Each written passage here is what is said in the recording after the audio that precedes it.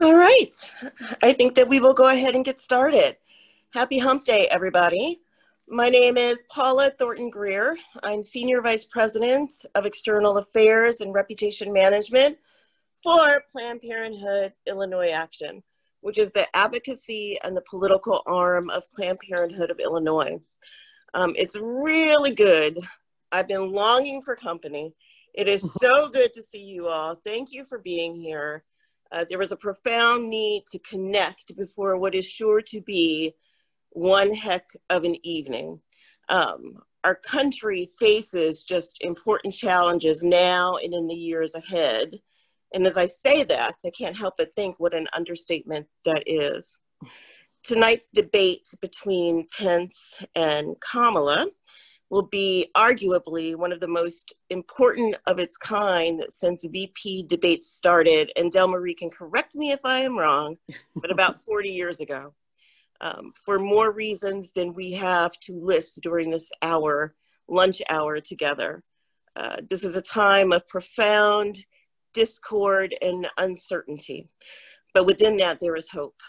And I also think that without question, for me, the framework of this election is intersectional.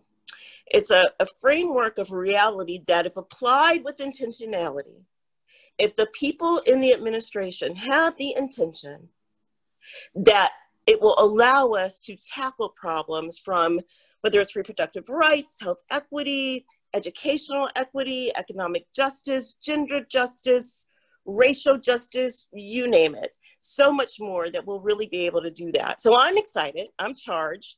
I ask you that you don't hold back. We're, we're gearing up for what I think will be a couple of really good threads of conversations. We have um, three terrific people that are going to help lead the conversation strands.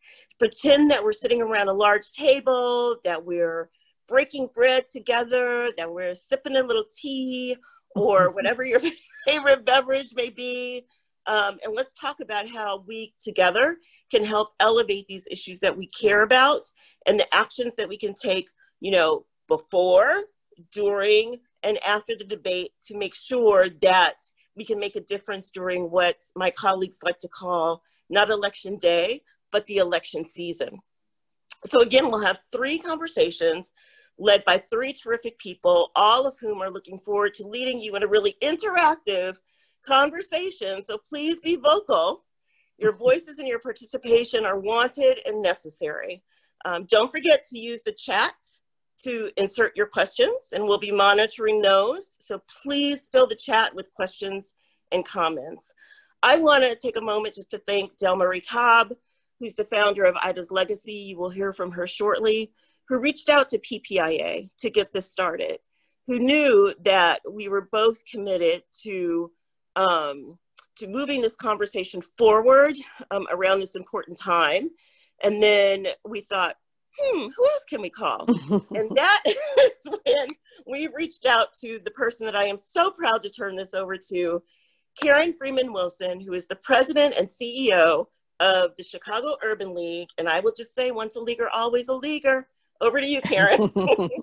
well, thank you, Paula, and thank you for your uh, past, present, and future dedication to the Chicago Urban League. It is such an honor to partner with Planned Parenthood of Illinois. And I want to thank you and Ms. Delmarie for thinking of the Chicago Urban League and, and of me for joining you in what we all know to be an important conversation about the election season, but also about not just the presidential election, but the down ballot races. Uh, I'm also eager to hear your panelists, particularly our impact fellow, Nick Cummings. Uh, the Chicago Urban League has existed and fought on behalf of Chicago residents for over 100 years for racial justice and economic equity.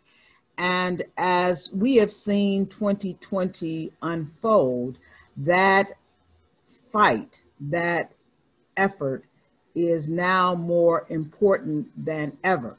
And that is why I would say this upcoming election is so important to all of us. Whether um, you are like us in your research and advocacy effort, um, your programming efforts and reprogram in the areas of entrepreneurship, housing, youth services and education, in uh, leadership development, and in workforce development. Whether you are in any of those areas or areas of your own, like reproductive justice and other issues like immigration, which are so important to all of us, we know that this election is important. Um, I am particularly excited about the historic nature of the debate tonight as we see the first African um, American woman uh, to set take the vice presidential stage along with Vice President Pence to uh, talk about the issues that are so near and dear to our hearts. Um, I would be remiss if I didn't mention that this is happening in the midst of a, a dual pandemic, that of COVID-19 and that of a cry around this nation, quite frankly, around this world for uh, racial justice. And so um, we have our work cut out for us in what is less than 30 days until the presidential election. Um, the early voting has already started in Chicago, in many places around the country. And um, I would just say to each and every one of us, make sure that you are doing all that you can to ensure a record turnout in our community. And so with that, I am excited to introduce uh, the next speaker, uh, the person whose brainchild this debate prep session was, someone who is uh, an iconic political and media consultant and one who I am uh, glad to count as a friend and colleague, uh, Ms. Delmarie Cobb. Well, thank you very much, Karen. I appreciate it. And hello, and thank you, Karen, and thank you, Paula, for including Ida's legacy in our lead up off program to tonight's vice presidential debate. And I think you, you two have set the stage very well for what we're going to do this afternoon and for the expectation in these next 28 days. The Ida B. Wells Legacy Committee is the state's first political action committee focused on Black women candidates. We're proud to join Planned Parenthood Illinois Action and the Chicago Urban League in hosting this important panel that we hope will motivate more people to encourage their friends and family to register and vote in what may be the most important election of our lifetime. We keep saying that, but I think this time we it really is.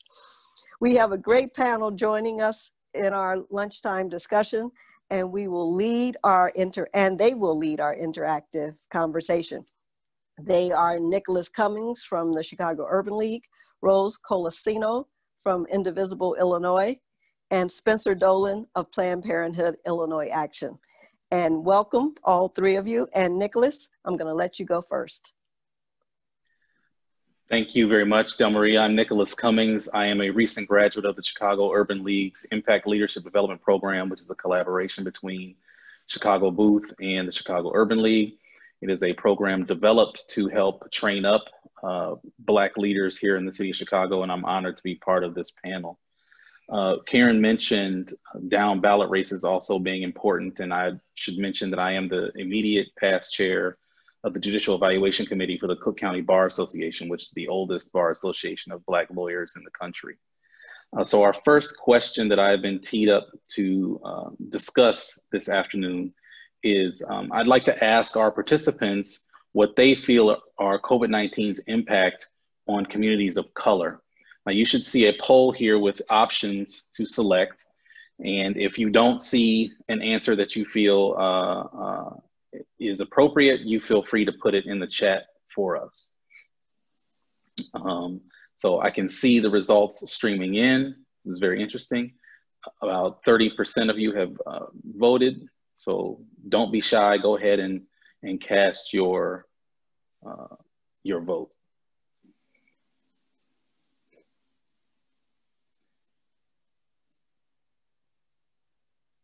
And I, would like to uh, especially recognize my fellow Impact alum, Mr. Kelly Fox, as well as Mavis Lang, the executive director of the Impact Leadership Development Program, who I've seen in the uh, as participants. So shameless plug for the Chicago Urban League's Impact Leadership Development Program. All right, um, we're almost there. We got 75% of the vote. So if you have uh, something else, we do have one response here in the chat.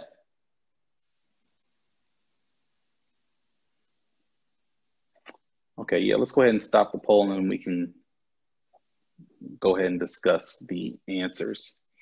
All right, so so far the, the poll results, the most impacted uh, area was employment and the economy, followed by access to healthcare and rounding out education. We had one uh, response in the chat that specifically mentioned mental health. All of those are definitely important. Um, and as you can imagine, all of these are, uh, are related. Um, the Chicago Urban League put out a white paper in May titled an impact, I'm sorry, an, an epidemic of inequalities. And as we know from the beginning of the pandemic, uh, Black Chicagoans specifically um, made up a tremendous or a larger share of our workers that are considered essential workers. So more than a quarter of healthcare support workers were Black. Uh, approximately 23% um, of respiratory therapists were Black. Uh, and licensed, licensed vocational nur nurses, about a third, almost a third of those are Black.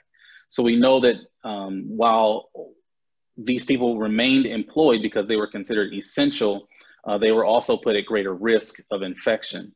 Additionally, there were a lot of people who lost work. So we have a lot of uh, our restaurateur work, or restaurant workers, uh, and and service workers in our in our mainly a service economy who are individuals of color, and so they did experience a large impact to uh, their employment in, in the economy. Um, but one of the things that I'm, we were we, we discussed previously before the program today was the impact on education, and I'm surprised that it came in third education has been impacted like never before, not only because we have people that are now homeschooling or learning from home, but we now understand that internet access is more of a utility and not a uh, uh, luxury as once imagined. It, it's more so akin to the home landline that we used to have, uh, electricity, uh, gas. It, it's so essential now, especially when you talk about kids needing to learn. And there is a very real digital divide in the Chicago in Chicagoland area alone. There was a study done that talks about how the South and West sides don't have access to, to broadband internet. Uh, that inability to, to have access to broadband internet, never, never mind devices to access that broadband internet, stifles the learning of Black children in the South and West sides of Chicago. So those are some serious intersectionality issues that we hope that that the candidates will bring up in the debate is it's not as, as uh, Karen Freeman um, Wilson suggested, we are battling two pandemics, one that's been going on for nearly 400 years and another that just came to light in 2020. So hopefully those, those, those intersectionalities will come up uh, tonight from our candidates as they debate on the national stage. So I think yeah. the next person let me move the poll here. The next person to talk will be Spencer to uh, discuss, Spencer Dolan to discuss uh, the future of reproductive rights. Spencer? Yeah, I think we can also probably um, maybe throw this to the, the group as well and see if anyone has any thoughts they wanted to to um, add to that nicholas I, I when i when i was looking at this i thought about how um, potentially some of these things could be compounded right like it's not just one thing. It's not like you potentially lose your job, so those economic factors are involved, and then your housing is in jeopardy, or um, you know, it, it, just seems like all interconnected for me. So when I was kind of looking through this, I was thinking, you know, these compounding factors make the, the two, you know, different um, parts of this issue you were talking about even even harder. Um, you know, that it's it's really not just going to be one thing. Um, you know, or or maybe you still have your job, but um, you your child is um, uh, doing e-learning and you don't have great access for them for wi-fi or you don't have the childcare you need right um, or you're afraid to, to bring them to the childcare maybe it was a parent of yours or something like that and, and they they can't risk it because of healthcare and they're worried about what their access is going to look like if they get sick right so all these things kind of seem to swirl around for me and um, you, you I don't know a, if anyone else. Yeah, go ahead, Nicholas. You raise an interesting point, Spencer, that I that I am highly confident should come up in tonight's debate, and that's the United States is one of the few countries where our healthcare is tied to our employment. Yes. So if you lose your employment, you lose your healthcare, and the access to healthcare becomes a a problem, especially in the midst of a global pandemic. Um, so that is a very serious issue that you raise, and and um, I expect that this will come up with res- with respect to one party wanting to push sort of a, a national healthcare initiative that's uh, makes healthcare fundamental as a right, and another party that says no, we should we should support the private uh, healthcare industry, which is typically tied to your employment status.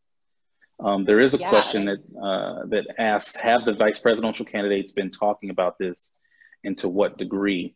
Um, we do know that the Democratic nominee for vice president was talked about it during her run as president or when she was running for the Democratic nomination. Um, we haven't really heard much from them as vice presidential nominees, but we do know that the platform for one party is to ensure that more Americans have access to healthcare while the other party uh, would like to tie it specifically to uh, private industry to, to help uh, privatize and profit uh, off of healthcare costs. Anybody else, else have any other room? questions? Yeah. yeah. don't don't be shy. And and I don't know if um, our, our or Paula or Karen uh, or even Delmarie want to uh, chime in on this particular topic as well, since since you guys have joined us. Well, it's certainly at stake. Um, the healthcare issue is at stake when you look at the Supreme Court. And the Supreme Court is very much in the limelight at this point. So that's a big issue. And I think uh, what we saw in 2016 is many people did not understand that the Affordable Care Act and Obamacare were the same thing. And so where they res- they re- they hated Obamacare simply because it was Obama, um, once they realized, wait a minute, the Affordable Care Act is Obamacare. And when we're talking about pre existing conditions and taking away my insurance, that means, oh my God, I won't have any insurance and I have a pre existing condition, which a majority of people have. And so I think that's in the spotlight right now as we have a president who is rushing to get a nominee, uh, his nominee on the Supreme Court, who will definitely uh, tilt the uh, Supreme Court. Yeah, Delmarie, I, I agree with you completely. I mean, you know, and one of the questions that I often hear from young people in my life is what, number one, they don't understand, they don't understand how to connect the past with the present, right? And we were talking about that a little bit earlier. So they don't understand the connection between what's happening with the Supreme Court and the Affordable Care Act and how it impacts them with their their job or the job that they hope to have.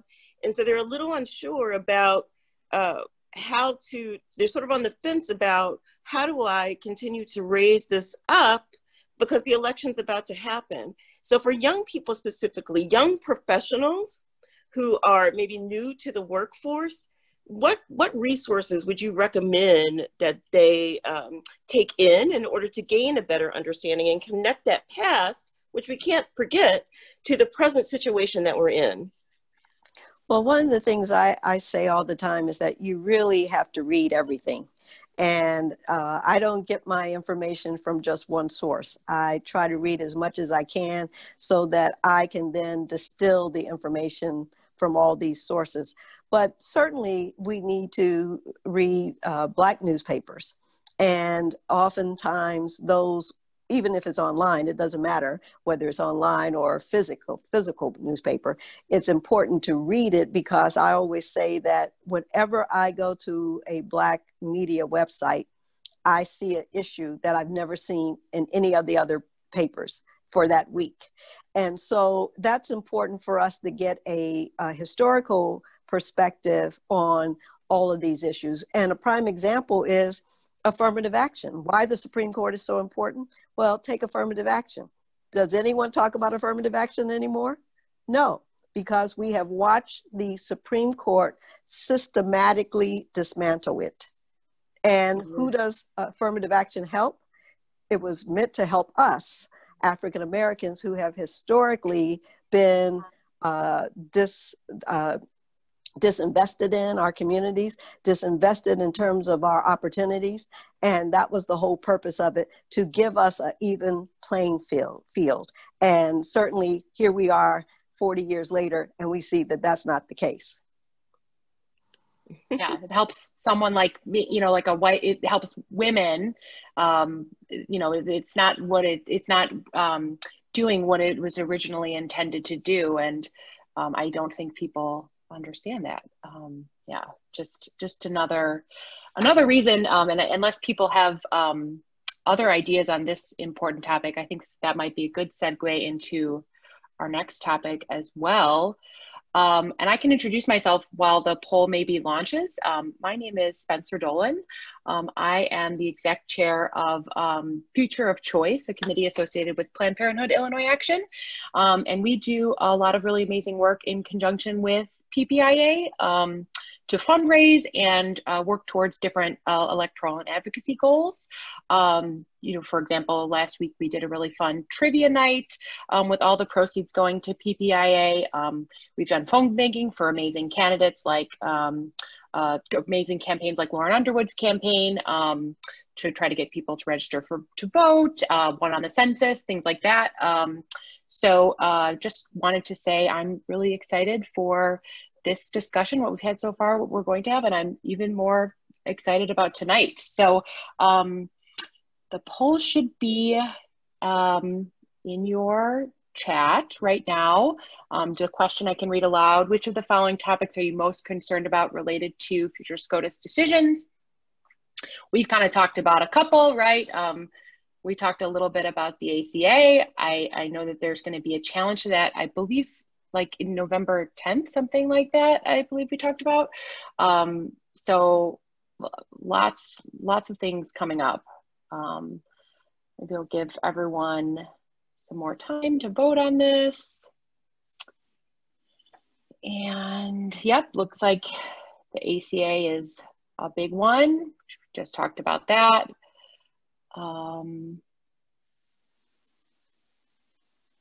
oh, and um, thank you, Karen. Uh, oh, you saw, if anyone didn't see in the chat, remember that the census has been extended by the by court order 21031. Um, I'm sure everyone on this lovely call has filled out their census, but it does take just a couple minutes if you haven't. Remember, they can't ask you. Um, you're not. You know, you don't have to worry about your um, status, right? Um, and uh, you should fill it out um, like based on your household. So um, it's super, super important so that, you know, um, the, the area that you live in and, and, and your community can get the resources you need.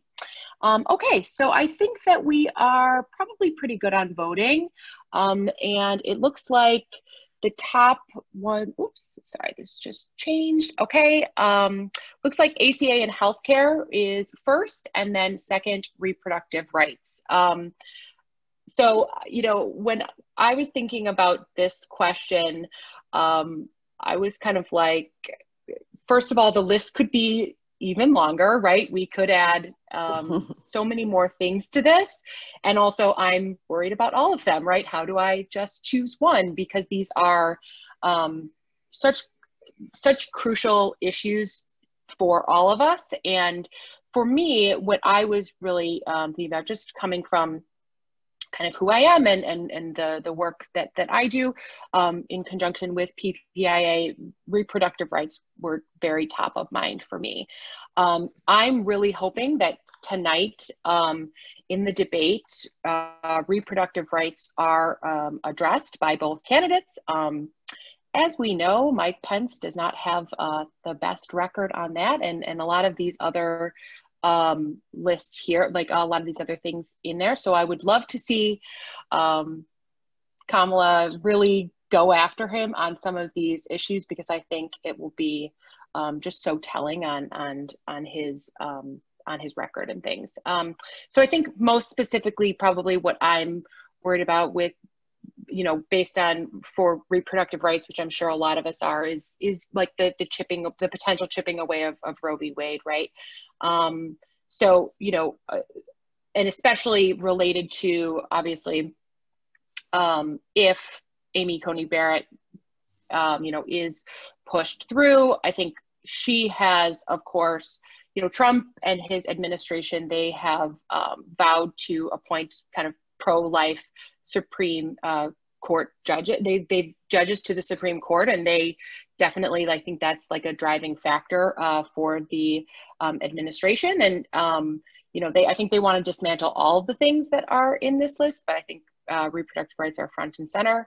Um, and uh, Amy Coney Barrett has, you know, been on record saying that I think she she doesn't think that Roe v. Wade can necessarily be overturned, but it can be limited, and um, that's what really makes me nervous. Um, I know there's lots of cases kind of pending in lower courts that could come to the Supreme Court. Things like, you know, wild things like, you know, the burial of fetal tissue and um, you know bans on abortion for um, early weeks into pregnancy, pregnancy or parental um, notification of abortion, which we actually have in Illinois.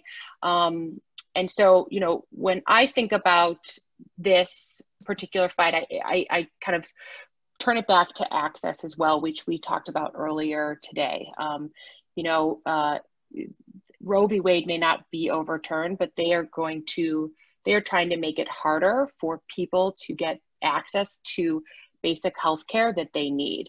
Um, and that's what's really scary to me, um, you know, that those kind of this right will be chipped away at and, you know, we won't, um, people won't be able to get the care that they need. Um, even down to things like, you know, besides obviously um, the abortion conversation, things like birth control, um, or even just like just basic health care, right? Um, a lot could be um, really dismantled um, in this election. Um, so let's see, I know we got lots of questions in the chat that I will um, kind of maybe throw out as well to people. Let's see here. So, all right, what steps will you take to ensure the reproductive health needs for women and girls are protected. Um, yeah, I think that's a really great question. That's from Beverly. I'm not sure if you're on, Beverly, but thank you for um, your question. Um, a lot of things that um, I can kind of say that uh, Future of Choice has done is um, trying to um, elect people who we think that will protect reproductive health for women um, for all people. Um, and then also, you know, like I mentioned, even in Illinois, we have the um, parental notice of abortion. Um, and that is going to be a goal um, to try to, after the election, try to um, dismantle in Illinois. So there have been quite a few different projects that we've worked on regarding kind of phone banking and supporting candidates, things like that. I don't know if anyone else from staff wants to talk about that a little more specifically? Hard to unmute. I forgot where the unmute was. Yeah, I think you're right. I mean, I think foundationally, if you look at it from PPIA's perspective, it comes down to this, right?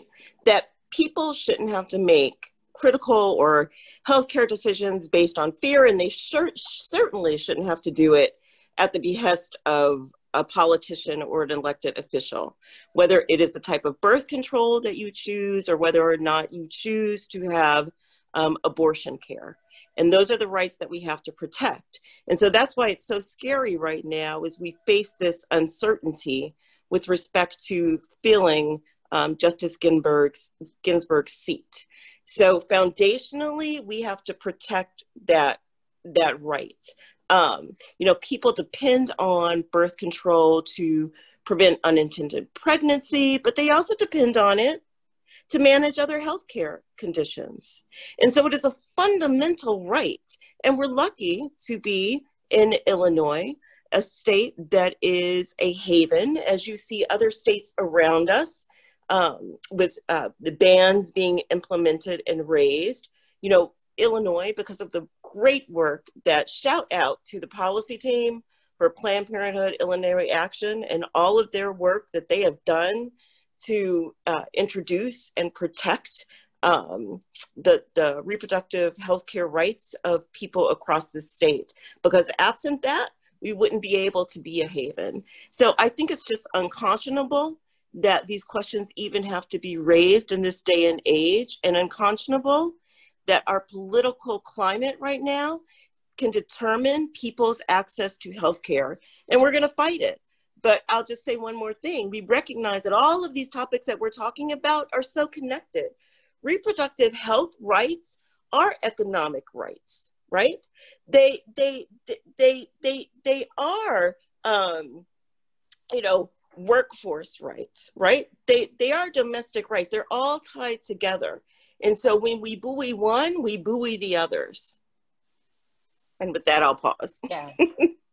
I, I, think another another thing is important to realize, and I think Delmarie touched on this in the last topic about educating ourselves about certain things. A lot of people are are really worried about the Supreme Court overturning uh, precedent, and um, it, it's very difficult for the courts to then turn around and, and, change their mind. There's a thing in the law called stare decisis, which uh, the judges are expected to essentially follow past precedent of what they've decided before. The more likely path for all of these things to become problematic is in Congress. Um, even once the Supreme Court makes a decision, the legislature can pass a law to overturn that decision as long as it doesn't interfere with the Constitution. And so um, these things will be very difficult for the court to necessarily address, but it's it's certainly more important, or certainly as important, to ensure that you know who your local representatives are, your state, your state and local representatives, your United States representatives, your United States senator, because those are the people that could actually um, have a much more direct impact to a lot of these issues that that we're discussing today. Absolutely, Nicholas. And if I could just riff off that for a minute, that's so such a critical point that you made, because very often people think about Roe v. Wade, for example, as just a blanket, it's gone, poof, right? But what we're seeing is a systematic chipping away of that at the state level. And so you're absolutely right. So thank you for raising that. So it may not be overnight like that, but we're already seeing it. And we're already seeing the the ripple effects that that is having on other other issues. And i really hope that the candidates address this tonight and not just in a blanket way but in the systematic chipping away of these rights. You know paula and it also underscores the importance of down ballot races. Yes. Nicholas mentioned congress and um, I, I agree that there may be an effort at some legislative changes if there is a significant shift in Congress. And so you really do have to vote all the way up and down the ballot and not just uh, for uh, issues that may be on the ballot. Uh, we have the fair tax in Illinois this time, but also for um, judges and other candidates. Yeah, and I think that that just, oh, go ahead, Paula. Uh, no, it was Adele Marie, but I was oh, going to say, but that's why it's so important. If you look at the poll that you we just did, and the three top issues, which were reproductive rights and the Affordable Care Act and voting rights, those are three issues that are most at risk right now, and uh, that is why uh, in 2016, 20% of those people who voted for Donald Trump and made up their minds in the last two weeks of the campaign said they did so based on the Supreme Court. Mm. So that was their driving motivation was the Supreme Court and the Supreme Court changing in terms of becoming more liberal. And most people thought if Hillary Clinton became the president, the court would become more liberal. And as we see, Donald Trump became the president and he's had three opportunities in three years. And that's incredible. And that's mm. why it is so important to vote. And, and it's not just the Supreme Court, it's also right. other federal courts because if you look at the current nominee she's coming from the seventh circuit and she just got there i believe in 2017 right. She was a trump nominee in 2017 yep. And he's and what he's appointed over 200 federal judges in three years. And these are judges who will have an uh, impact on decision making and laws for decades. And that's we like other ju- uh, jobs around. And exactly. and that's the other reason why they keep trying to get them younger and younger. When Ginsburg was chosen, many people said she was too old at 60. And she was there 27 years. So that's why they keep going younger and younger and younger so that they can have an impact for generations. Yeah, and I think this discussion really um, helps kind of answer one of the questions in the chat. And thank you for this question. Um, what are the steps that would need to be taken for Roe v. Wade to be overturned? Um, and what are we able to do now to help um, those rights regardless of the outcome of this election? So, um, you know, whoever um, asked that question yeah, go ahead, Nicholas. One of the things that I didn't mention in my introduction is I am the deputy city attorney for the city of Evanston. So I actually am a practicing lawyer. Um, Roe versus Wade is actually grounded in constitutional law. So the Supreme Court decided in that case that that uh, there was a constitutional right to uh, bodily integrity, which is going to be hard for any case to come up to the Supreme Court to strip away, which is why I said that it's more likely to happen in Congress. Um, it's more difficult right now because you have the, the two houses split. You have a Democratic um, House of Representatives, which believes that Roe versus Wade should be should um, be the law of the land, and you have a Republican majority in the Senate, which you know do, doesn't necessarily have the the numbers to try and pass legislation to overturn that. Um, so it, the steps that would be, be necessary are, are very difficult ones. You you need like the perfect case essentially in order to get up to the Supreme Court. And you have to convince the Supreme Court that there's no constitutional basis for this particular right, which they've already decided that there was. So they would have to essentially go against stare decisis and, and essentially change their mind altogether.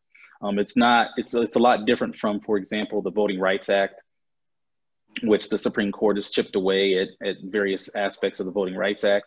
But the reason why they were able to chip away at it is because the evidence that was that was uh, used to support the Voting, right, Voting Rights Act, uh, the things have changed. So the Supreme Court looked at the the evidence of uh, discrimination, so to speak, in those southern states and decided that um, it, it, wasn't the same as it was in the 60s, so we can toss a particular section of the of the Voting Rights Act. That's not the same here. It's it's specifically grounded in the Constitution. So it'd be a lot more difficult for the Supreme Court to say uh, there's no longer a right to, to bodily integrity under the Constitution. And since we're talking about voting rights, this would be a good time for Rose to step in there and uh, and take it for us. Yes, thank you for having me. Good afternoon, everyone. I'm grateful to be here with all of you in such an esteemed panel. Let me introduce myself. I am Rose Colacino, and I am the election security voting rights person for Indivisible Illinois. And uh, we have been at this pretty much since uh, 2016 when uh, Indivisible Illinois came about. Um, Indivisible Illinois was uh, launched right after the uh, 2016 election with our uh, national headquarters, the Indivisible Network give you a little more insight into us. We are in Illinois, about uh, 60 very active, busy groups, especially right now. And uh, Indivisible across the United States has approximately 6,000 people. So, uh, yes, participatory democracy, and uh, folks are incredibly busy right now. I want to tell you just a little bit more about us besides working on voting rights. We also do electoral work, and we have been um, really since 2018, quite busy in the uh, swing states. We have been in Wisconsin, we have been in Michigan, but uh, quite a bit in uh, Wisconsin, I have to say. We think that it is very important to the uh, presidential and of course the uh, vice presidential race with our um, very fascinating debate that's going to come up this evening.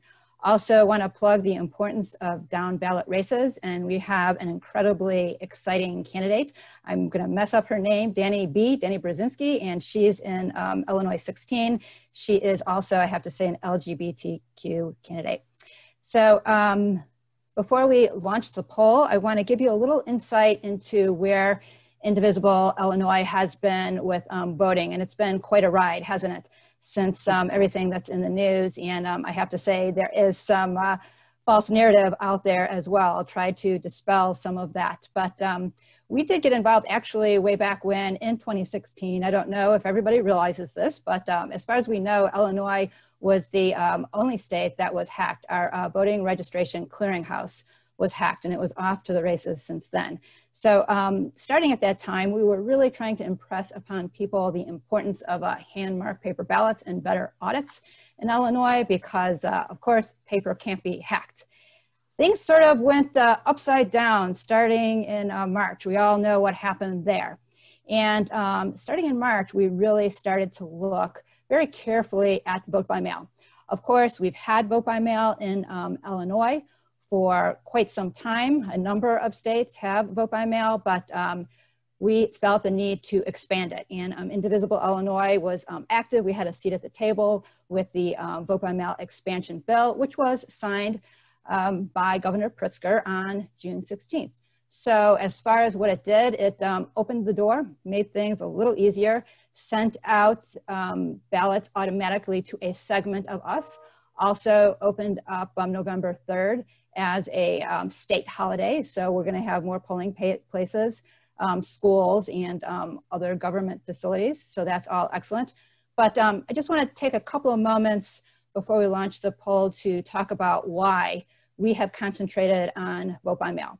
I have done quite a bit of research. We have had the opportunity to talk to a number of election officials, and not just in um, Chicago and suburban Cook. We're trying to talk to our um, activists and election officials in Peoria and Champaign. As you know, we have a great uh, new clerk in Champaign by the name of um, Aaron Ammons, the first African American clerk, as far as I know, um, in that area. So it's been um, thrilling to get to know him. So um, what they are telling us is that the um, safest, most secure, accessible way to vote, despite again some of the things that you might be hearing in the news, is to vote by mail.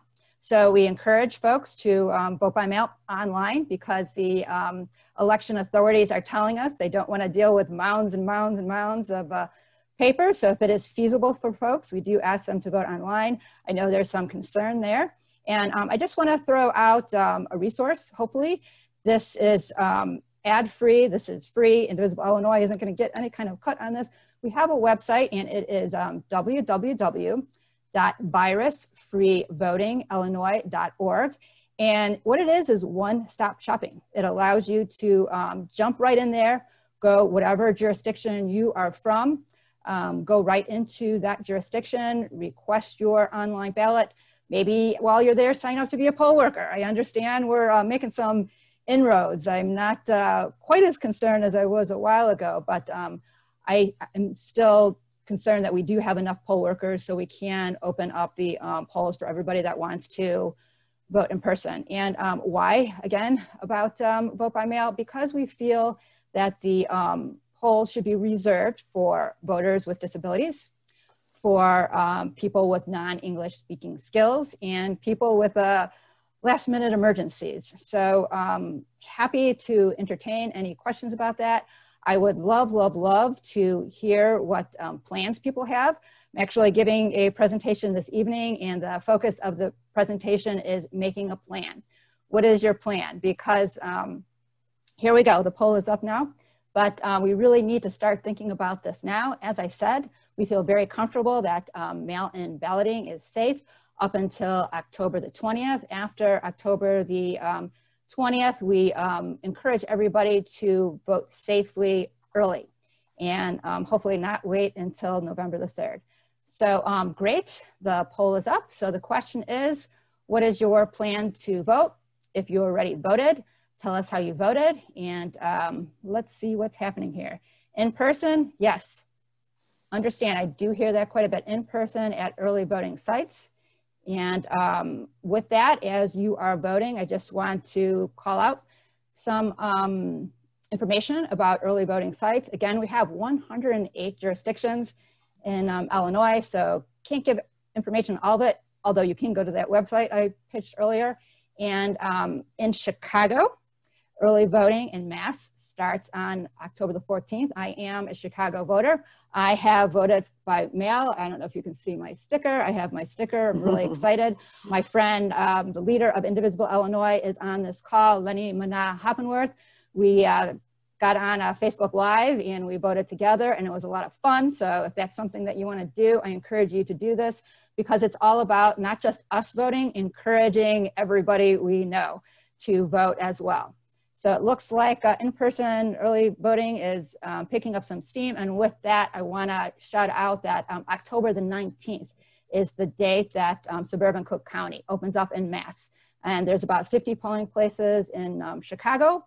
There's about 50 polling places in um, suburban Cook. With that, I wanna say, some of you might have seen uh, our former mayor, Rahm Emanuel, voted on um, October the 1st. So for Chicago, there is that a lot of you are familiar with probably the super site, October the 1st, and I believe there's going to be also some um, limited voting in um, suburban Cook starting the 9th, if not um, earlier. Right.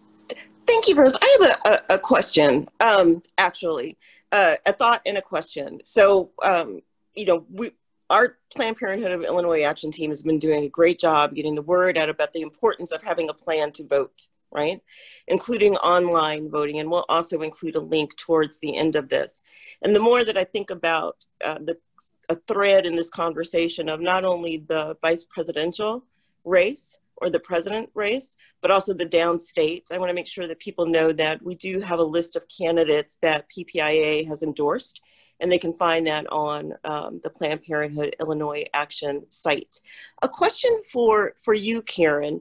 What are you hearing from your constituents at the Urban League and all of the people that you serve with respect to their voting plans? Are they weighing in person versus, you know, uh, mailing it in?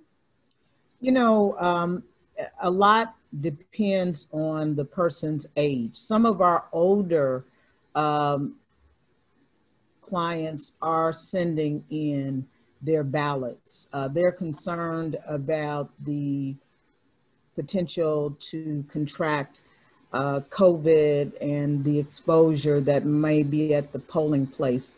Others who have been out and about more are saying, you know, just like I go to the grocery store, this is so important. Uh, I'm going to uh, vote in person. Uh, I may vote early to just uh, minimize that potential, but I am still going to vote in person.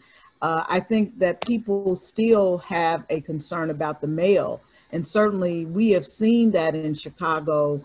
Uh, we have seen our mail be delayed, uh, get held up. Uh, in fact, we had that problem at the league and went to the local uh, post office and they just said, hey, you know what, we are swamped, we're inundated, we're trying to get better. It's improved a bit, but there's still a concern that we have our voice heard. And so that's why we are working. In fact, we just posted a voter guide on our website, uh, chiul.org, that encourages people to one, know the candidates, know the issues, and then create a voting plan. Yeah, that's really, really important um, to do that. And I think, you know, I'm so grateful for, for all of you and your work and the fact that there are so many res resources to where people can turn for that information. So thanks for lifting that up, Rose. Of course. And, and, and Paula, there was um, a question in the chat about those down ballot and local election races that we should be paying attention to that actually could be key in some of the issues we've discussed today. Um, two of those races, uh, only because they are near and dear to my heart, are the state's attorney's race, as well as the judges that are on the ballot. Uh, so shameless pl plug with respect to the judges, there's a website, voteforjudges.org. It is a compilation of the ratings by the Alliance of Bar Associations, which is about 13 bar associations that get together and evaluate um, judicial candidates, whether they be for uh, first time election or if they're up, um, as many judges in this particular race are up for retention this year. And so you can go there and look at those um, those those ratings to determine who who the judges are that you should uh, vote in favor of.